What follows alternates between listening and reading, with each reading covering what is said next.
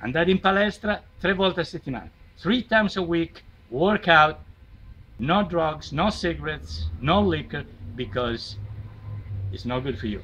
Trust me. Workout three times a week. It's very good. Stay fit so you stay in shape. Take care of yourself.